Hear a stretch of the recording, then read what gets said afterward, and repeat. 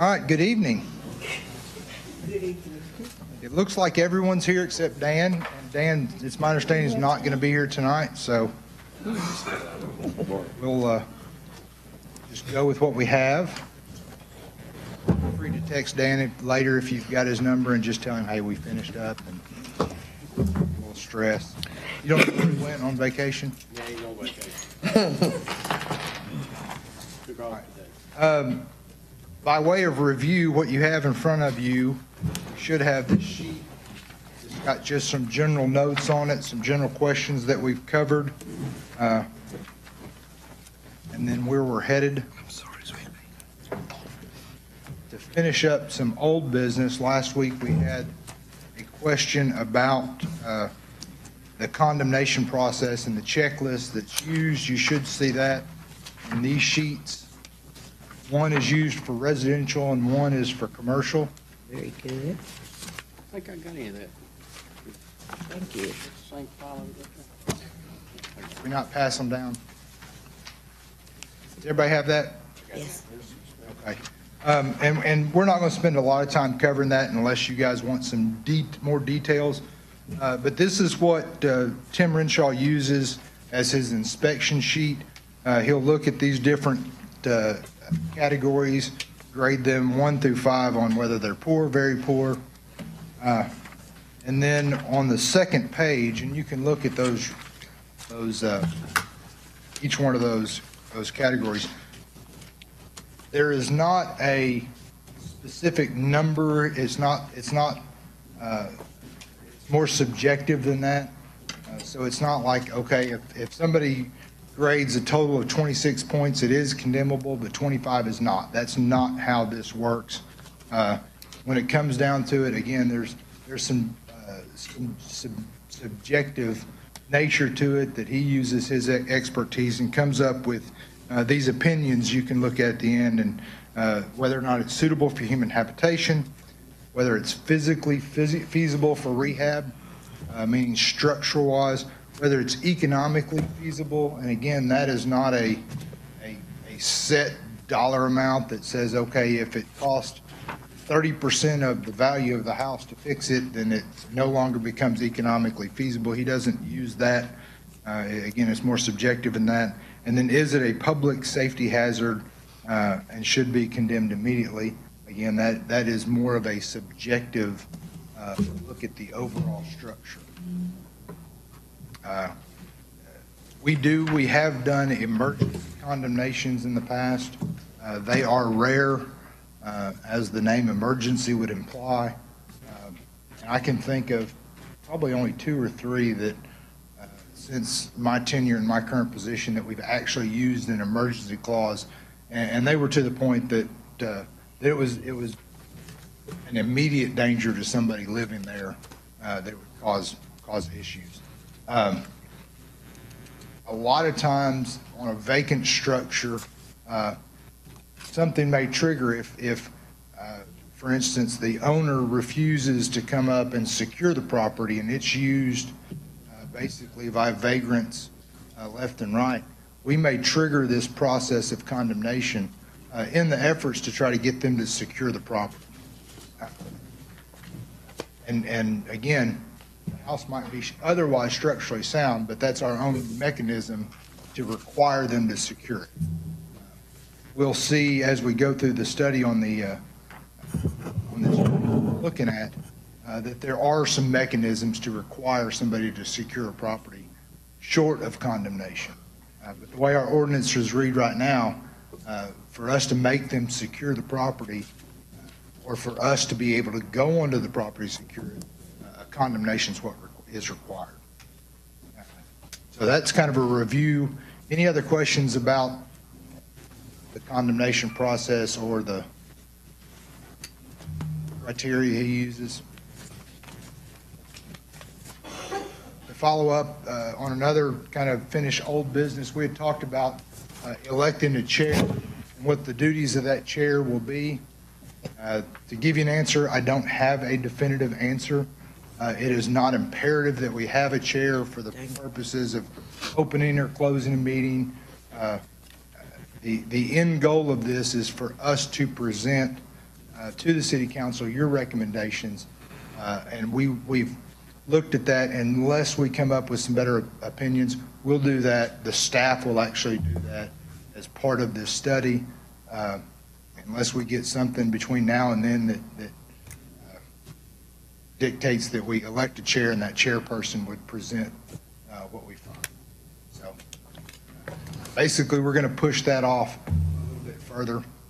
I will continue to be your, uh, your tour guide, if you will. All right. Uh, To bring us up to speed, to jump into, to where we're looking at tonight, uh, I asked you, or or we suggested that we're going to start looking at the International Property Maintenance Code from the standpoint of the interior. And the reason we're doing that is because obviously that's kind of going to be our biggest hurdle and probably our biggest source of, of of disagreement among uh, yourselves. That's okay. Uh, I'm asking that we suspend the argument of whether or not we actually look in the inside of a structure or not. Uh, That argument needs to be, needs to take place, and there's some good arguments on both sides of that. Uh, But we're going to suspend that, and for the time being, assume that we're looking at the inside of a structure. And if we follow that assumption, what would we look for? Uh, So this will be, if, if, if you're sitting there and you think, okay, there's no reason in the world we should look at the interior of a structure, hold that opinion and, and be prepared to make that argument uh, after we look at these criteria. But for the time being, assume that we are going to look in the interior of a structure. Let's look at what we would look at. Uh, Again, it's our opinion, and that's only what it is, our opinion, that if we look at the interior of a structure, we should limit that to those things that affect the safety and health and welfare uh, of the people inside.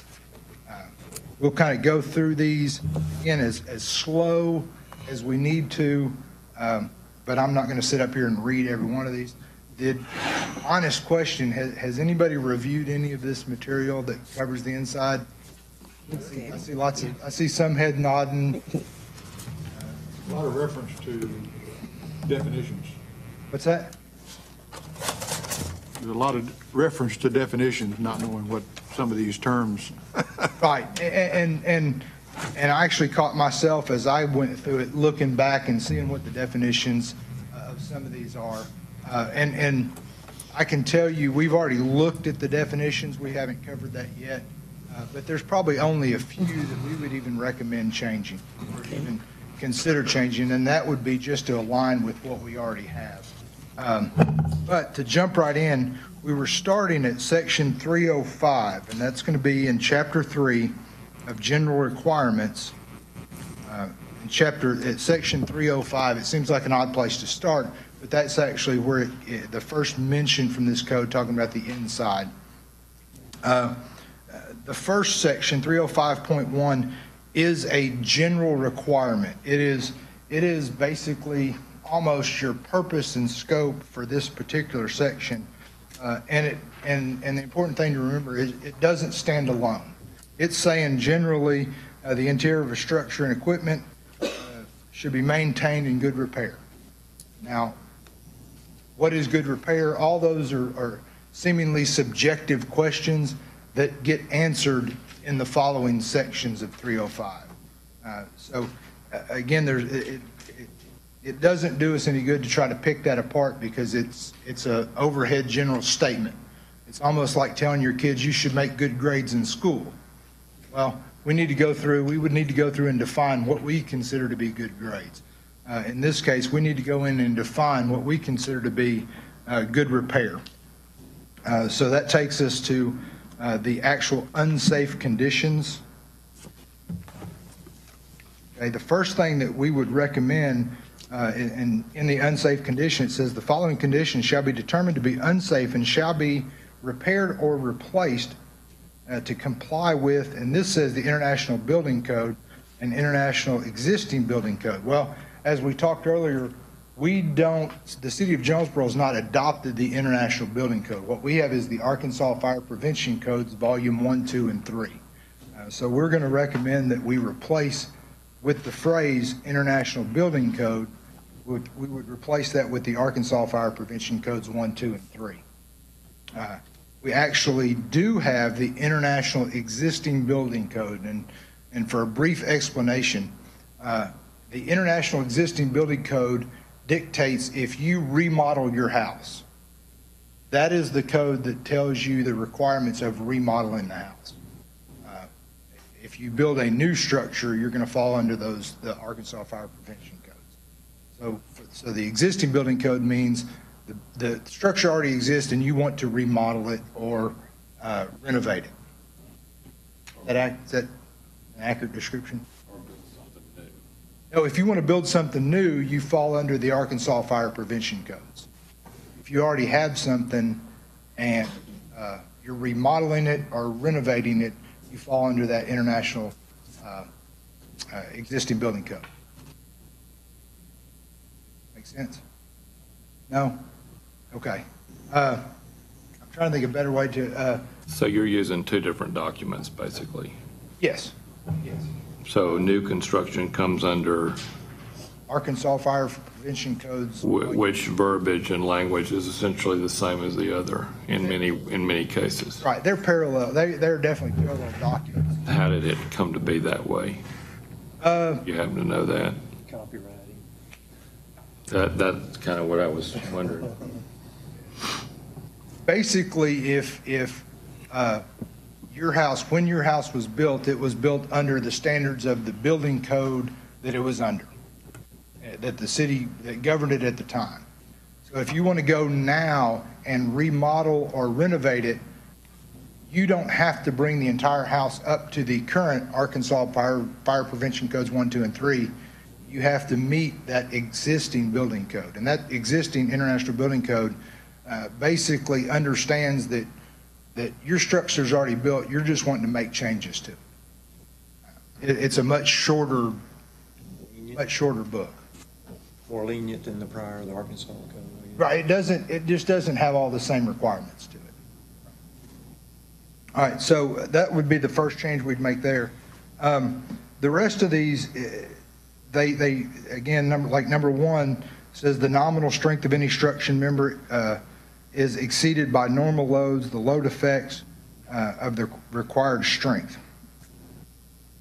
Basically, there's, the, the way that would, we, that could be triggered is if an engineer or somebody looked at it and said, okay, that structure can't support the nominal loads, or it fails.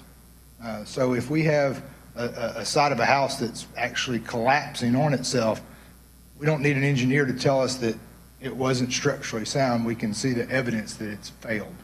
Uh, Again, the same thing with the anchorage of the floor or the roof walls or columns. uh, And walls and columns, again, it's the, it's the, the same uh, uh, standard applies. Either, either somebody with the expertise, knowledge, and, and, and training that would come in there and say that, basically an engineer or architect, or the system fails. So anytime, anytime we see a failure of a column to hold up the weight, then we can turn around and say, okay, obviously that wasn't, it, it wasn't sufficient to hold the weight because it failed. Uh, Structure components thereof have reached their limit state. Again, there's only two ways to determine that. Either an engineer comes in there and and gives us the calculations, or, or it fails. Uh, Stairs, landings, balconies, and similar walking surfaces, including guards and handrails, are not structurally sound, not properly anchored, uh, or are anchored with connections not capable of supporting nominal loads and resisting all load effects. Uh, So again, those are the kind of the standards. It's either built up to the standard that is required, uh, and we know that because it holds the weight. If it doesn't hold the nominal weight that it's supposed to hold, then it either fails or we would have to have an engine. I mean, what I'm saying is for, uh, for enforcement of that, uh, the only way that, that we could enforce that is either the system failed or it, it, uh, an engineer came in there and, and looked at it and, and said that. Uh, The average layperson, even probably the inspector, is not going to go in there and start testing load limits. Have to be a- failure of that system to trigger any enforcement. And then, even then, the occupant or somebody is, for the interior, is gonna have to complain about it first, like, Sure. this stairwell is, does not make me feel comfortable, and my landlord has done nothing about it, and I need help or something. So that nature is that, that would be how, they would even have to get to that point where an engineer would be called in, correct? Well, I mean, I can tell you from a practical standpoint, we're not going to call an engineer because somebody says they'll take that Right, on their staircase. Right. Sufficient to handle it. right, I mean, It would take some sort of evidence that there's, it doesn't. right, So, you know, if the handrail pulls away from the wall, obviously if that system has failed, then Right. you know that it wasn't either designed, installed properly, or misused. Either way, it would have to be repaired. And I guess my biggest point was it's going to be complaint driven from somebody on the interior of that structure. We're not going to go door to door looking for these things. No. Because that's kind of the complaints I had heard, like in the paper and stuff, was fear of people coming along, but it's not going to be that way at all. Complaint driven, we're not going to come into your house. And I know that's for a later date, but I was just, Right, and we'll, and we're gonna, when we get to Right. cover, once we kind of figure these things out, Right. we get to the uh, administration of it, uh, we're gonna take, we're gonna slow down and take plenty of time to look at the right of entry and what that actually means, the legality of that. Uh, No, the only way somebody can even, uh, it would even be permissible to, to come inside somebody's property is, number one, we would have to have some sort of complaint. Uh, And number two, we would have to have either permission or sufficient information and go get a court order. Neighbor complaining on neighbor. How is, I mean, how would, first of all, they're going to have to say how they know, I mean, they're going to have to give some sort of evidence or reason. If a neighbor walked in or went and visited another neighbor's house uh, and said, hey, this condition's going on, uh, and it met a requirement that we all said, yeah, we think that we should address that, uh, then, I mean, it's possible. We would go up and ask the person to look at it. It's probably not sufficient to reach probable cause. Now, Plenty of neighbors don't like neighbors. sure they do, sure, sure they They do. have to be landlord. I mean, and, you know, that, I mean, there's, there's, we could, we can what if that quite a bit, but uh, I know plenty of angry wives that might call this, thing. Exactly. I've been nagging my husband about this for six years and he There's a thought.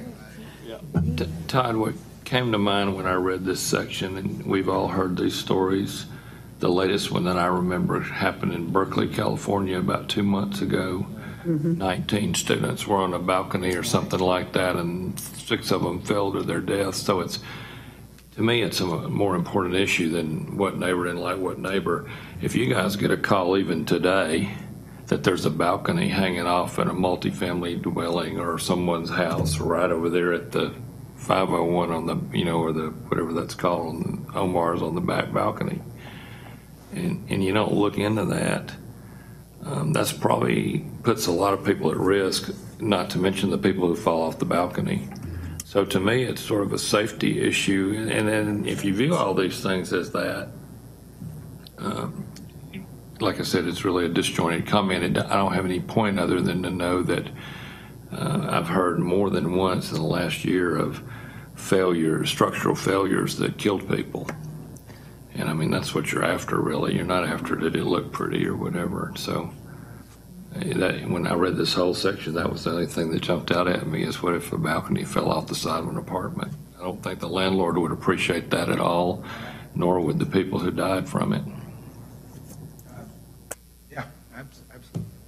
Uh, So again, back to these unsafe conditions, um, talks about the foundation system, uh, again, with open cracks and breaks and not properly anchored, not capable of supporting all nominal loads. Again, that would be, because we had, we had people say, hey, I don't know a foundation in Jonesboro that doesn't have a crack in it. The question is, is that crack causing it structurally to be unsound? Uh, And again, the only way, the only, the only trigger to these things are either an expert comes in and says, okay, that crack in that foundation is going to cause that house to crumble, or the house is crumbling. I mean, either one of those two things. Uh, More than likely, uh, if it reaches some of these points, our condemnation process at some point would probably kick in anyway. Uh, But then, in, if you go on down to the uh, exceptions, it says, when sustained otherwise by an approved method, that's talking about repairing it. And then the demolition of safe, demolition of unsafe conditions shall be permitted when approved by the code official. Uh, And we would recommend a change of that one uh, to actually read that the demolition of unsafe conditions shall be permer- permitted upon the receipt of the appropriate permit from the Jonesboro Inspections Department. Uh, So basically, if you wanted to demolish a house, you have to get a permit. So rather than changing the language and saying it takes a code official to give you permission to tear down a house, we would just refer back to the permit process that we already have. Other than that, in the unsafe conditions, did anybody read anything that basically gave them pause or question? No, but would you repeat what you just said, please? About the, about the the demolition? Yes. Uh, we would recommend that that language, it said, the way it reads as states, it says demolition of unsafe conditions shall be permitted and approved by the city, the code official. Mhm. Now, for definition purposes, we will always, when it says code official, we're going, we will have in plain language that the code official, the chief, basically code official, is going to be uh, our chief building official.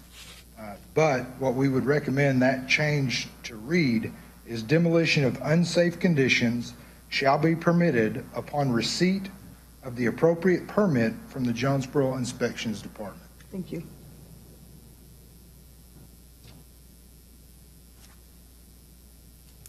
Okay, so we kind of covered that general, that general overhead statement and the unsafe conditions uh, uh, about, basically, what's making that house uh, unsafe. Uh, I mean, for lack of a better term. Uh, Next, we look at structural members. It says, "All structural members shall be maintained structurally sound and be capable of supporting imposed loads." Again, that's, that falls right back to, how do we know if it's not capable of supporting the imposed loads? Well, there's only two ways, either an expert comes in by the, an engineer, or it actually fails. It doesn't support those imposed loads. So if it doesn't, by definition, it, it, it's not capable of it.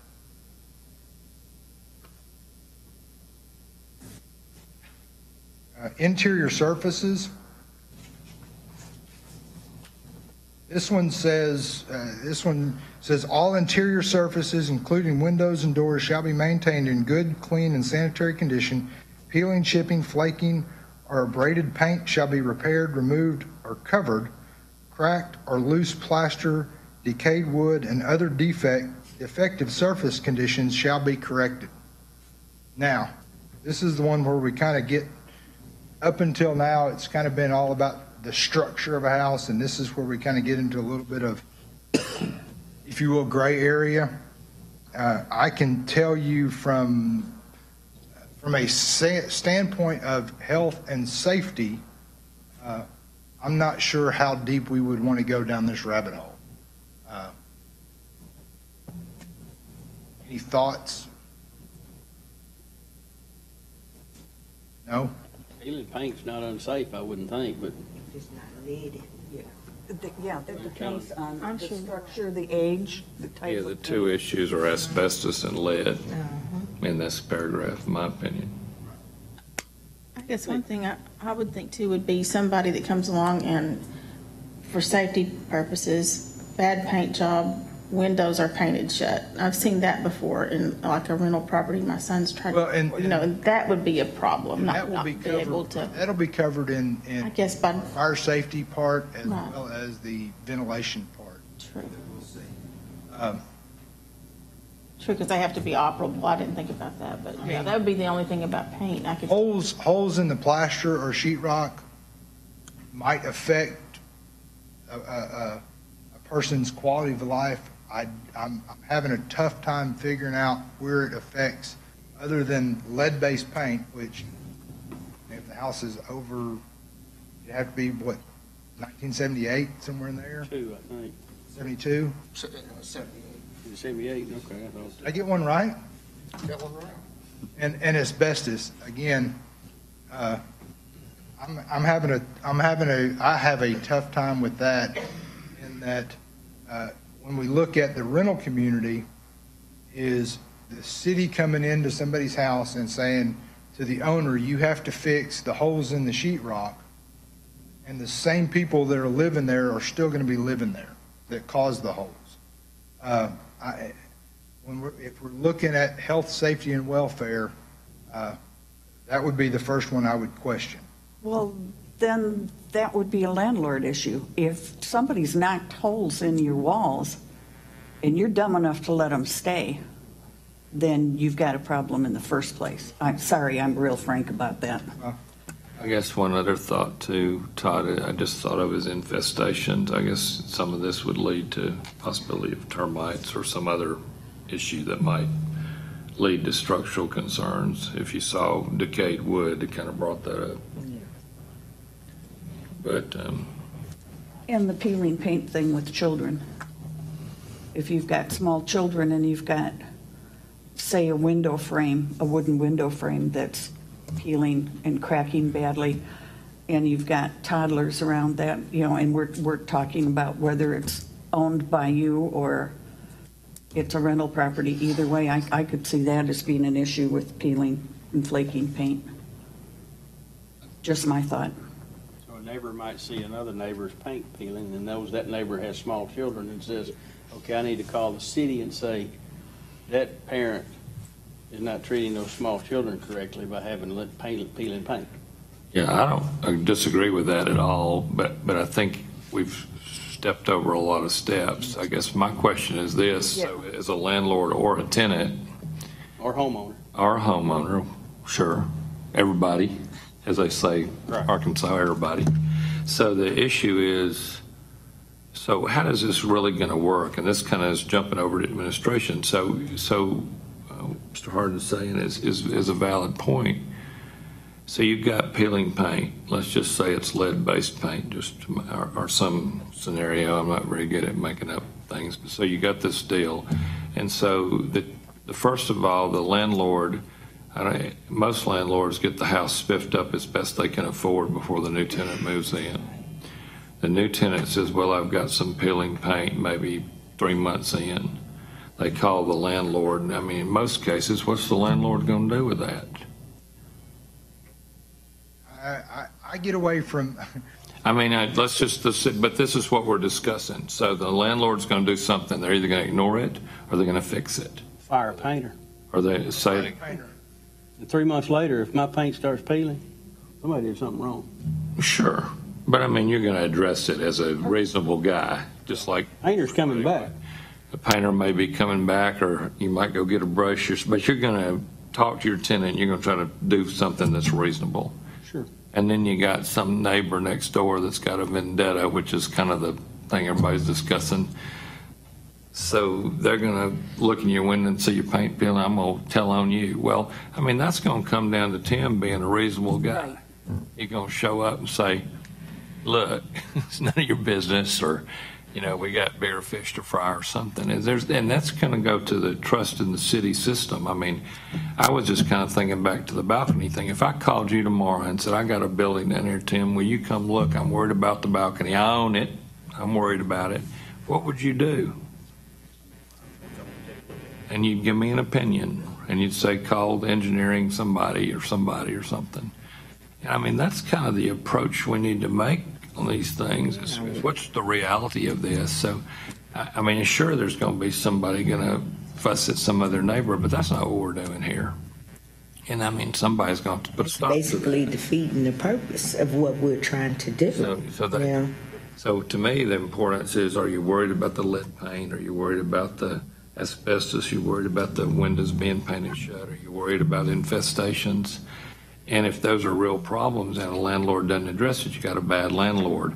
If you've got a tenant tearing up a house, you got a bad tenant. If you got a neighbor telling on somebody because they don't like them, I just need to be shut up. It's just not. It's a nosy neighbor. So, I mean, it's just, it's just kind of, a lot of this is going to end up being common sense. Yeah. But the, the reality is there's a liability for the city, there's a liability for the landlord, and there's a safety issue for a tenant.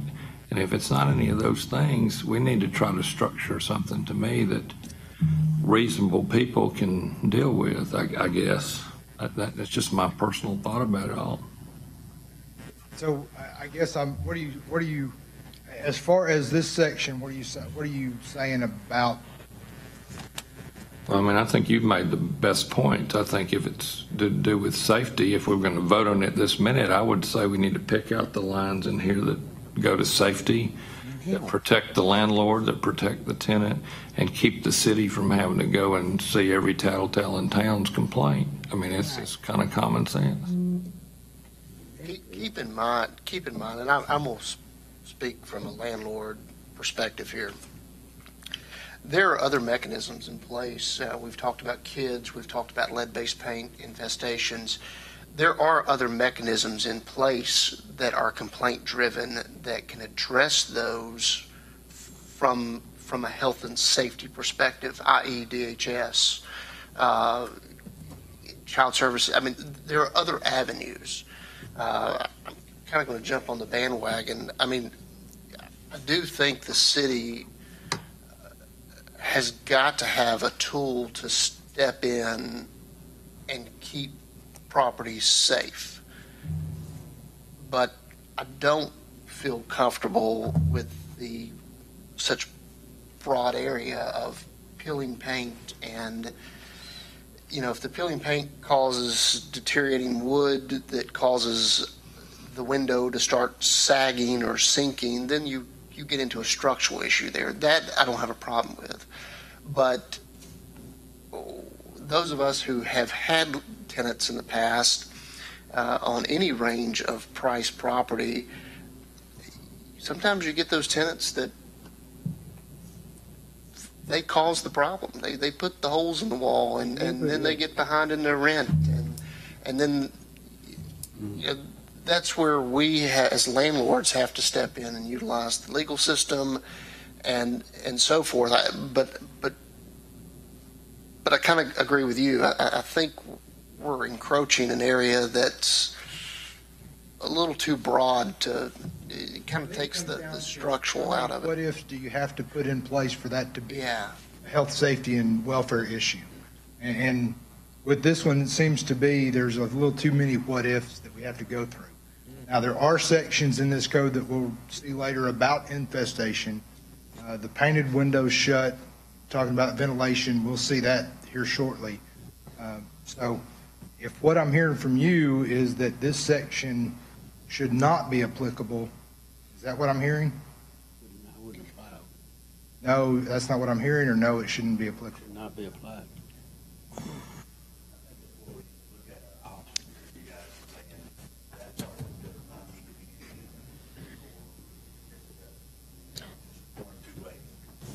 Can you not just take that middle sentence out? Middle sentence.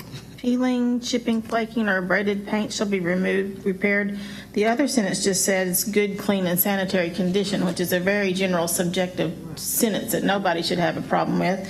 And the last one talks about cracked, loose plaster, which could be a distinct problem, or decayed wood. The peeling, chipping, paint seems like the really ticky thing to me, because that's pretty silly. It's basically if you, Well, I think what you're trying to do, No. yeah, because basically if you live in that place, then you wouldn't want it to be peeling, cracking. You would fix it yourself before you would even try to worry anybody else. You know, if you're about, you know, keeping the appearance of yourself or your home, or even if you're a tenant, then you wouldn't, you know, be calling nobody for just that. You know, you would be basically calling because, okay, the stairwells or the cracks in the wall due to the weather or the structure of the building, not just to be coming and painting, you know? So, no, I'm about like her. That don't need- to be. statement, here's, the here's the, here's the, the issue that I would have in leaving in just the subjective part, because it is subjective about, uh, all the interior surfaces shall be maintained in good, clean sanitary conditions. Now, if we get a call, not only do we have to come out and address a complaint, now we've got to make a judgment call. Whether it's good or And not. address, address a complaint. But you got to do that every single day as a police officer or as a building inspector, right? Sure. You gonna pull me over because my tail light's out or you're not? That's a judgment call. I, I think that's the, the crux of this. If you're gonna try to legislate and come up with a document that's gonna cover every issue and not have any trust in the people you're asking to help with this, we're gonna be here till three years. I mean, the take-home message, everything's gonna be a judgment call. And you do that every single day. How many times have we been building something or Mary Ellen's been renovating a house and we are not right up at the code standard and we get Tim or one of his guys come in there and say, well, yeah, the plug's not two feet away, it's, you know, 22 inches. We're gonna let that go. I mean, to me, again, it, it- I don't care if the paint looks pretty or not. That's, that's the, between the tenant and the landlord. But if it's a safety issue for a kid, you need, you know, the whole purpose of this endeavor that we're all subjecting ourselves to is to give you guys a way to deal with things that need to be dealt with for reasonable safety for kids or adults or whoever. And again, I don't, and I, not, I would respectfully take issue with Jason. Have you ever called DHS for help for anything? Because I do that on a daily basis with Yes, kids. we have. yeah. And quite often, you don't get a lot of help. We don't. And if there's any other mechanisms, Mary Ellen would like to know, because we just put seven thousand dollars on a house that a tenant trashed.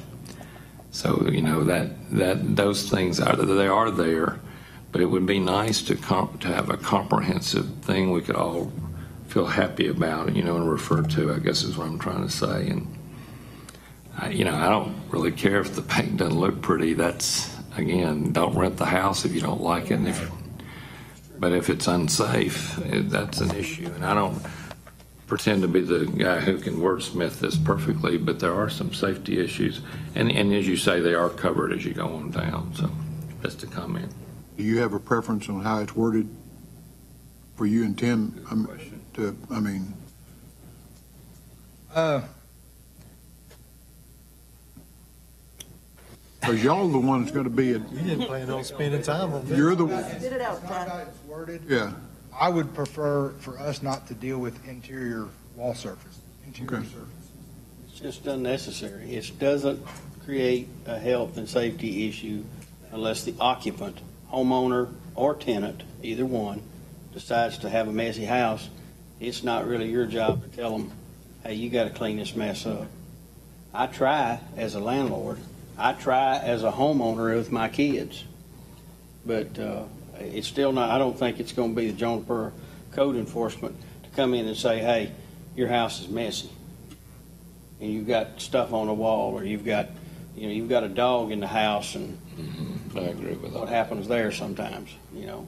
Uh, So it, as far as even having it in there, it just seems irrelevant to me, because I really don't think Tim wants to go inspect somebody's dirty house, just because it's dirty, and had a neighbor complain. My, my, yeah, I've got a neighbor, I'm not, I don't have a neighbor, but let's just give an example. There's a neighbor that comes over to somebody else's house, and their kids play over there. And the kids come back and tell mama, well, they don't even clean up the dog poop. Tim gets a call. Yeah, it's unnecessary. He ain't gonna go, but it's in the code. Yeah, see, and It's that's in the code. Why is it even in the, co- and then, and that, that person calls and said, hey, it's in the code, Tim. Now, he's got a thirty-minute angry parent that he's got to somehow calm down. Well, it's in the code. Are you not gonna do your job, Tim? Well, do your job. Come on, do your job. No, he doesn't wanna listen to it. It's unnecessary. Okay, what is y'all's will?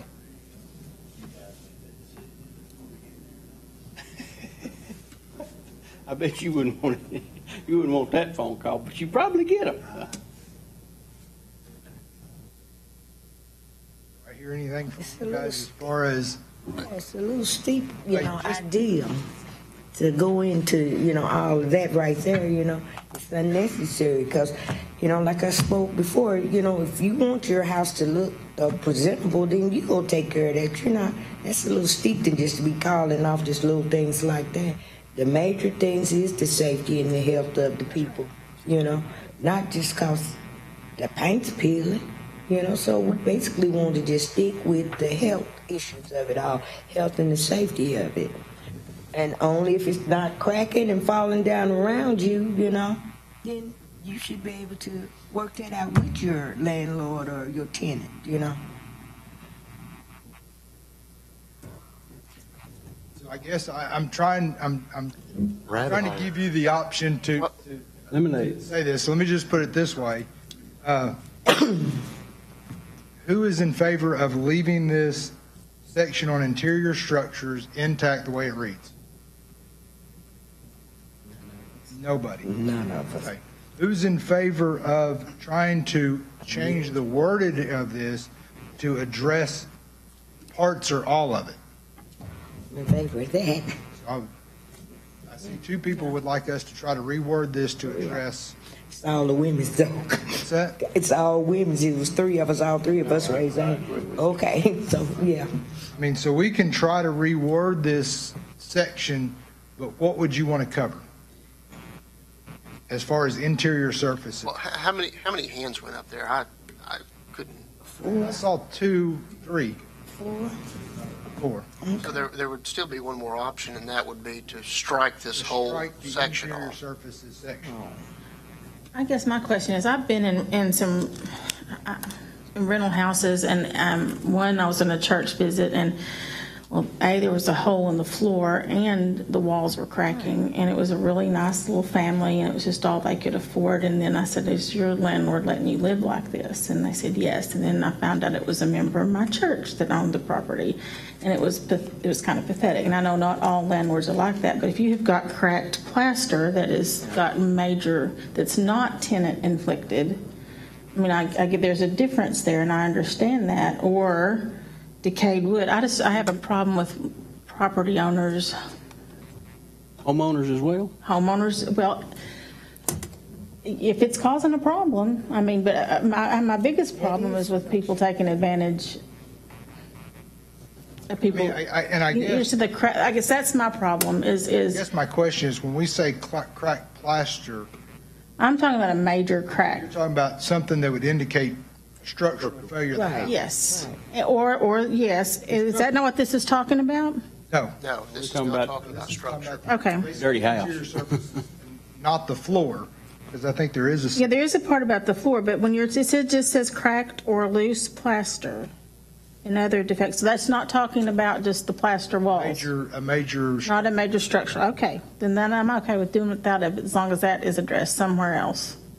If it's unsafe, if the floor's falling in, I'm all for it And I'm talking being about the, repaired. the wall too. I mean, the Yeah. walls were cracked. It's just not a plaster major, you know, Going back thing up. that's gonna cause the ceiling to fall, then, you know, that's not something that we need to address. If it's not gonna cause the ceiling to fall down, if it's, you know, if it's some kind of little plaster that you can put up. The house yeah, settling kind of right, thing. You Yeah, know, That's not a big deal. settling or whatever. so am I hearing we want to delete that section? As long as there's another section that covers safety, structure safety. Yeah, well, now, yeah, the structural safety, that number one is part of these unsafe conditions uh, up top. Right. Crack painting. We're taking that one out. What, do we need to make a motion to strike it, or what? Uh, I don't know, again, I, I- I'm just here, I'm waiting, somebody, would you like to see who wants to strike that, yes or no? Let's strike that whole paragraph. I make a motion that we strike paragraph 305.3, interior surfaces. Okay, who would be in favor of that by show of hands? Seeing one, two, three, four, five, six? Yeah. That one's gone. All right, And then I'd also say that if at some other point that we don't find that the health and safety is properly covered, then we come up with something that covers it. well, and, and like I said, we're, we're gonna kind of move through this section, uh, and, and the structural side of the house is covered. we'll get back to that. Can I ask one more question while we're down this rabbit hole that you didn't want to go down? Um, I've been talking with peers and people out in the community about this and the idea of it, not the specifics of it. One common comment that I get is, well, aren't, and it just, and it seems like we're picking on landlord-tenant relationships, which I know this covers a lot more than that. Aren't there systems already in place for a tenant to be able to appeal beyond the level of a landlord like with the city? There are not. Let me rephrase. If they're receiving government standards that HUD has. Mhm. They can go to HUD. Uh, Otherwise, they would have to seek legal remedy to the court to either get out of their lease uh, or just break the lease. As far as making a landlord fix things, Not going to happen. Okay. HUD will be, st- I I can tell you this, even after reading all this, HUD is more stringent than most of this. Sure. They're most, they're more, much more stringent. If, if, a- if a tenant complains that's receiving Section 8, he, the first thing Section 8's going to do is say, did you say anything to the landlord? Right. Nine times out of 10, they didn't. I know that. That happens to me every, all the time. I hear from HUD before I hear from a tenant.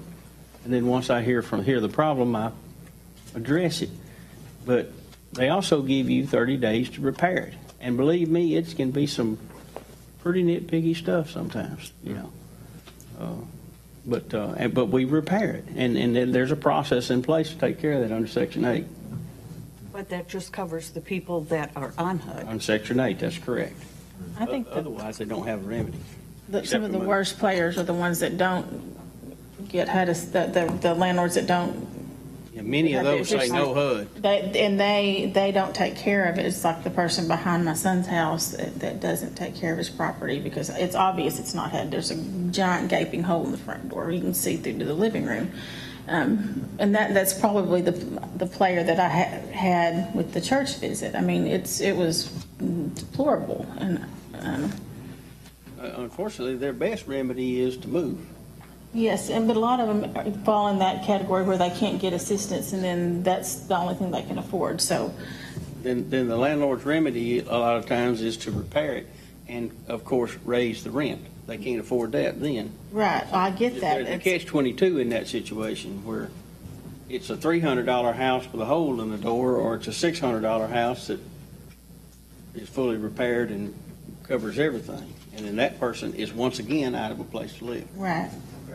Let's keep, let's move on through some of these other ones. Uh, 305.4 stairs Time. and walking surfaces, is this talks. Time. Yes. Two comments, I guess, to those two comments. I guess the first thing is, did I hear us say that we're going to adopt a less stringent code than a HUD house? Is that what, what I just heard? There are sections of, Mm-hmm. yeah, of section eight that are more stringent than, than parts of it. The parts of this. A- And secondly, we're doing someone a favor by leasing them a cheap house with a hole in the floor. No, I think the hole in the door, it wasn't, in the door. No, there's a, door. yeah, there's a hole in one floor, and there's a hole in the door. all right, so walking. You have to wonder surface where the hole came from. Yeah. says every stair, ramp, landing, balcony, porch, deck, or other walking surface shall be maintained in sound condition and good repair. Does any have, anybody have any? Not a problem with that at all. Uh, handrails and guardrails. Uh, Every handrail and guardrail shall be firmly fastened and capable of supporting nominal imposed loads and shall be maintained in good condition. No problem. May have any problem with the hand, section on handrails. Again, um, from an enforcement standpoint, in answer of a complaint, uh, we would, we would actually have to defer to either an expert that says that structure can't maintain the nominal weight, or the system fails. I'll tell you one other thing about both of those, though, also. Your own insurance agents, including mine, will, if you, if you have something loose like that, my insurance agent comes out and inspects things like that. I get an inspection every couple of years. They do a, what is it called? A, uh, It's, it's a risk risk assessment. And they do a risk assessment. So those things are double covered, I guess you'd say, for the homeowner and certainly for rental property. I get a risk assessment once a year.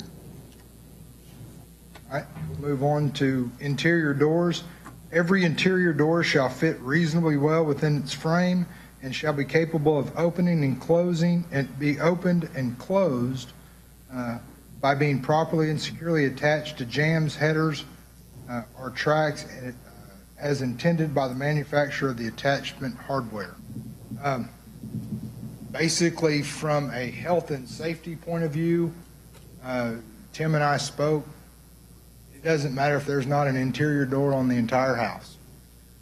Now, the, the, in, in, from a safety standpoint, if that door does not open properly, then we have an issue. Uh, We don't want, uh, you know, especially if it gets down to the seventies and a door gets shut and then all of a sudden the interior or the house heats up and that door gets kind of wedged where younger person couldn't readily open that door, then I think we have a safety issue. So that's, that's kind of the, the safety standpoint on interior doors. I've Be a lived, fire hazard if it didn't open correctly, right? Right. I've lived in older houses that none of the doors shut completely and that's just kind of the way it was. Uh, Which again, from a safety standpoint, isn't really an issue unless the door doesn't open. So any thoughts on the interior door section?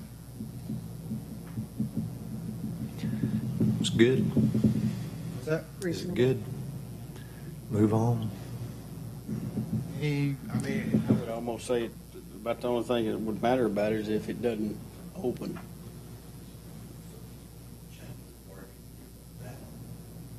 that's, I I mean, that's kind of up to you guys what we, I just say all doors ought to open, period. They don't have to necessarily, necessarily have to close. They stay wide open all the time, but they just need to be able to open. I have, I'll, I'll tell you this, I have tenants that will put locks on their doors and lock their children in there. I just went to a house yesterday, and I know they have a special needs child.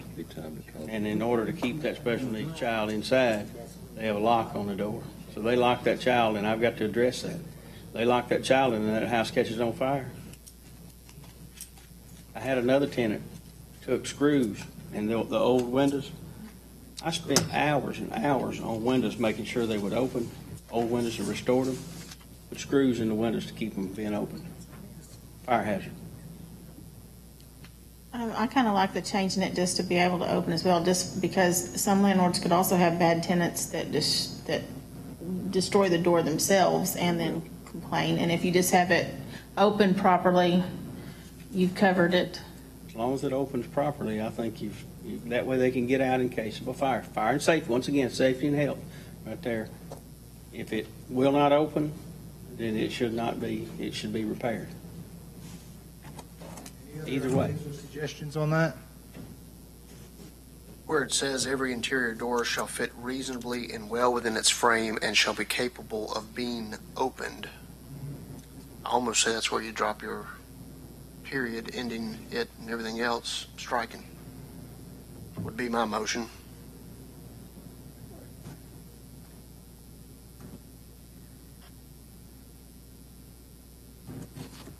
It kind of covers the rest of it. We will, uh, what we'll do is we will come up with an alter, some alternative verbiage on that and bring it back to you next time to cover that. Uh, Any other questions about 305 as a whole on interior structure? Some of this stuff should move pretty, a little faster. Uh, Component serviceability, section 306 in general. Again, this is a general overhead statement. The general, or the components of a structure and equipment therein shall be maintained in good repair, structurally sound, and in sanitary conditions. We have to look further in this section to see exactly what that means. That makes sense? Uh, So the first section is about soils. uh, the collapse of a footing foundation system, uh, damage to the footing or foundation, concrete other than, or, or other structural element due to the soil uh, expansion, adverse effects uh, to the drains or design strength of footings, foundation, concrete, or other structural elements due to uh, chemical reaction from the soil. Uh, Inadequate soil is determined by a, you want to catch that word for me? There you go, geotechnical investigation. Um, Where the, uh, where am I at? 1.5, where the allowable bearing, Where the allowable bearing of, of the soil is in doubt or adverse effects to the footing, foundation, concrete, or other structure elements due to the groundwater table. Obviously, it would take an expert of some type to come in and look at that, or again, failure of it. Uh, uh, Those are all things, obviously, that are going to deal with the structural integrity of a house. Uh, Any questions or comments about that? Once again, if a wall's not standing up, it doesn't matter which one of those reasons it is. Right. If the wall's not standing up, then it's unsafe because the wall's falling in. Why is unnecessary. No matter what the reason is, sinkhole or backhoe dug out from under it or what. Uh, All right, uh, concrete that has been subjected to any of the following conditions, deterioration, ultimate deformation, I'm sorry, uh, fractures, fissures, spalling, exposed reinforcement, or detached, dislodged, uh, or failing connections. You're talking about somebody's cracked driveway. What's spalling? Spalling is basically a separation of the concrete in layers. It's like a scaling or peeling of the concrete. alligators. What does it matter? I mean, that- that, it's not safety. It doesn't have, it. it's still, it's usually four inches thick anyway. So I, I see no reason to give a neighbor, a neighbor on a neighbor, call to you and say, hey, his concrete's cracked. And that's Now, what we're talking about, we're talking about the structure. We're not, we're not necessarily. We're talking about driveway? We're not talking about driveways and, and, and the pathways, we're talking about the structure the- itself, the concrete on the house. Uh, Concrete on the house. Concrete in the house. We're still inside. We're still, right, we're, we're still inside that structure. We're not, yeah, we're not dealing with the driveway. Okay, Uh, Now, again, I'm not an engineer by any means or even a building official. Obviously, some of these are going to, ultimate deformation just sounds bad to me. you got people with concrete floors stained.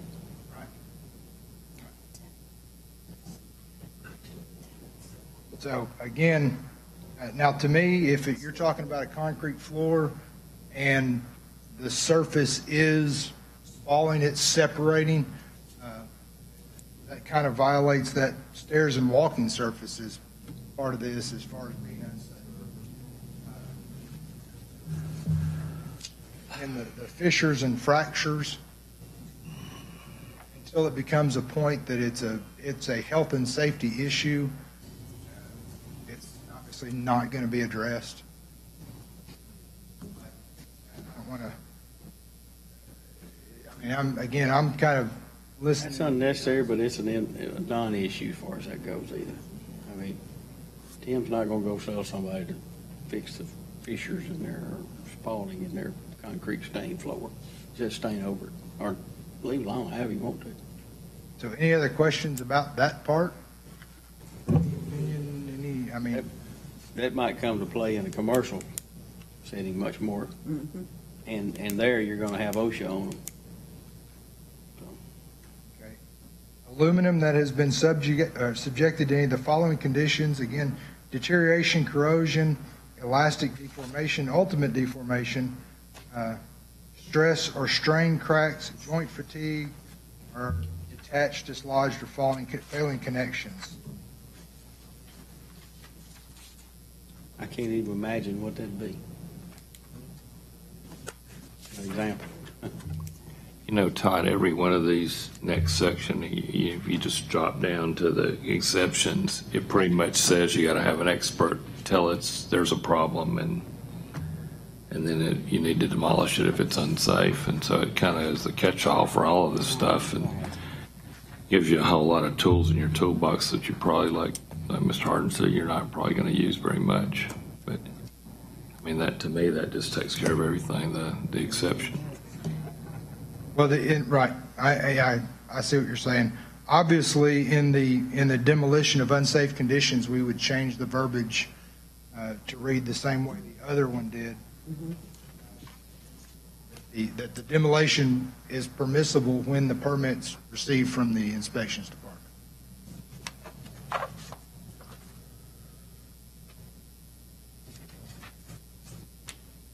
So any other questions ab- ab- about that section, the rest of 306? Have you read it or have any questions?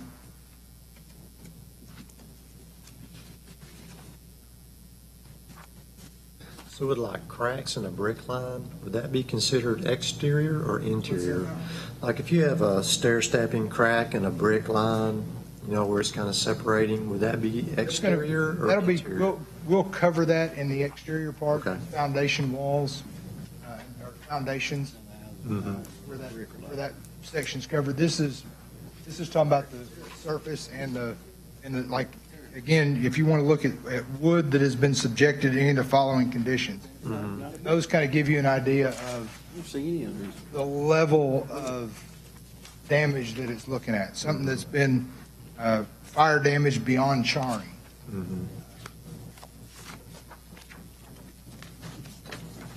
So again, if, I want you guys to, to be comfortable looking at that, going, okay, all those are understandable and need to be addressed. None of them, very few of them though, that I, maybe they are unsafe. And, uh, You, you may be the one to, to answer this, but can you give us an example of something that would fit in section 306 that would not fit in section 305.1 where, un- yeah, I mean, I, I mean, wouldn't, All of them would fall into that category. yeah, but wouldn't your 305.11 take care of everything? I think you do. It would, in, in my opinion. Yeah. Still falls under unsafe. That falls back on structural. Right. You may have some of this stuff, but it wouldn't be, it wouldn't be, you know, a, a- a minor part. Yeah. It wouldn't apply. The, the, the only thing that I see on here is fire damage, but if you get, if you have a fire and the fire department's called, they're gonna pull your meter and you can't get the meter until you have a permit. I'm gonna inspect it anyway. Yeah, I mean, everything goes back to, I, ju- I mean, I would say section three oh six, you just, just, just strike it. I I don't see anything that's not covered in three oh five.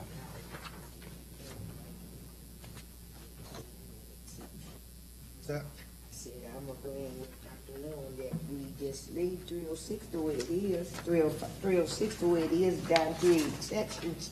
And then, you know, recommend and refer it back to the permits, you know, everything else, you know, it's okay. That's, you know, structural and, you know, the components, it's already rolled out there plainly, you know. We don't need to do anything to that as far as I'm concerned. Anybody else? Yeah. Yeah, I agree. So what I'm hearing is two different people saying two exactly opposite things. Well, what, what do you guys think? Because I think that ultimately becomes the deal. You know, what, what 306 really does is it just defines 305 in more detail. It gives you a whole lot more uh, of a case if you did have to do something. I mean, it's, that's all it really is doing. Um, I don't, you know, I guess my question is, if it's, if it's no difference between the two, why would you want to strike it? Just leave them in there and let them both be covered. What, what, what's the point of striking something that's Not in conflict. not in conflict with the other one? And it, what it's doing, I mean, I, you're the building inspector, but you're going to be the guy standing out there in the driveway saying, hey, and you can cite this sort of, you cite, here's the broad deal and here's the Here's the, details and you know I think that that to go through and just strike out things you get Now, I can see the other points, but I'd leave this there. That's my thought. It doesn't, doesn't hurt anything at all. Simplification, I mean, it's just, I could be neutral on it, or I can say. either. Well, and, and when I read this, you asked my opinion, when I read this, um, I, I, I actually had to look up what spalling concrete was. Uh, and, and looked up and, and thought, okay, so you have some concrete uh, separation, that scaling of concrete, and I start trying to figure out how is that affecting health, safety, and welfare? Uh, and then I fall back to that, those surfaces area. It is important that the surface area, the walking surface, be maintained properly. And then as I continued to read, especially when I got down to the steel components, now you're talking about actual structural issues with it.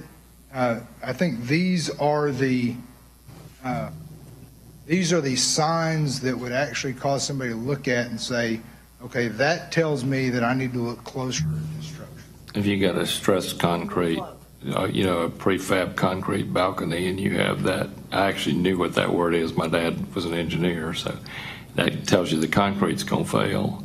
The other thing I guess I would say is that uh, I I think some of this has got to be you guys. Y'all are the experts, and that goes to the other thing. One of the reasons you're using this document, I would hope, is that the people who wrote it have thought through a lot of this, and they know what all these things are. So, um, again, my my only, I- I'll, I'll say it one more time. You probably hear it fifty thousand more times. If it's not safety, I don't really care. Yeah. But you- you know, and there again, Tim, give you something to use if you you know your staff has to address some of these things. These things could lead to safety issues. And there's, there's got to be a reason that they put this in two different sections. I, see, when I read these two sections, I don't read them as being identical. Uh, I, I see them as, this, this on this side, 305 is the earthquake.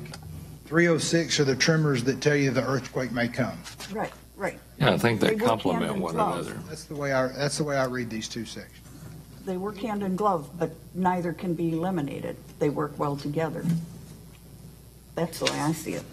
I'd be more commercial application than home. I, I second Mike's motion if there's if, the, if that's how we're doing things. What was the motion?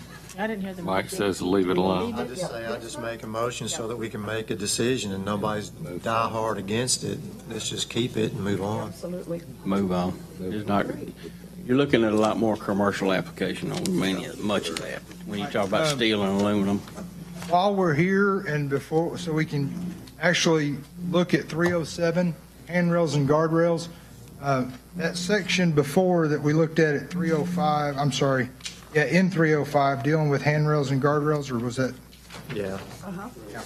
305, dealing with handrails and guardrails? It said 305. basically they had to be maintained or installed correctly. This is the section that says they have to be there.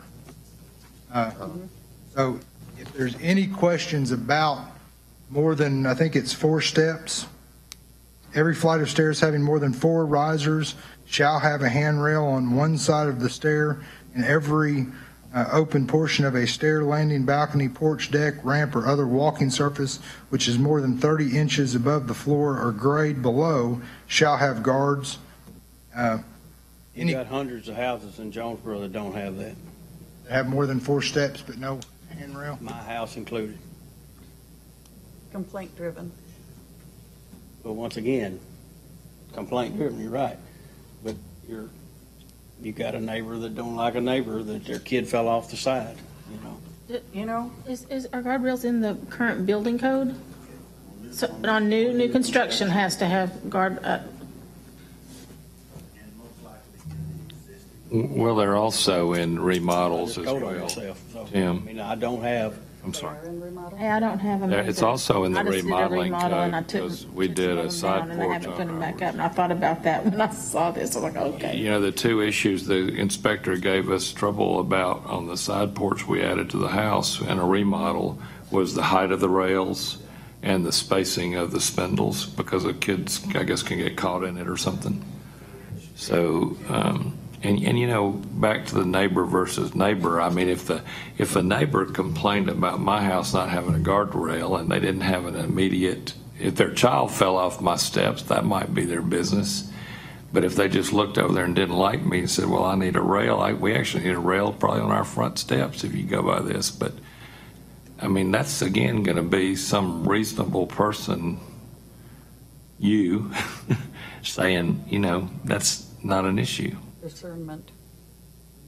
I mean, uh, I, I just, I got nicer neighbors than some people, I suppose. I don't think the neighbors are going to come after You me. have one of mine, I can tell you that. My mother would have said that growing up. She thought didn't this like it. section was going to be quick. I was wrong. Um, How about we do some more study on that? Uh, What's the difference between a handrail Or just, what do you and a, the difference between a handrail and a guardrail? Well, guardrail, I think, is if you've got a porch. Because I'm guessing, I I guess the question I would Oh, that's a have barrier. uh, would be, what's considered a flight of stairs versus steps up to a house? Are they the same thing? Uh, I I mean, I- I- I'm asking because I don't know. I'm not, again, I'm not a builder.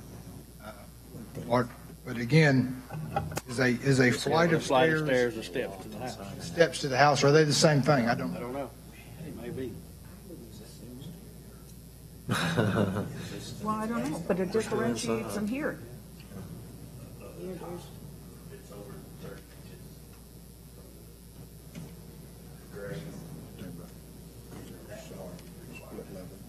You know, that have four and five steps.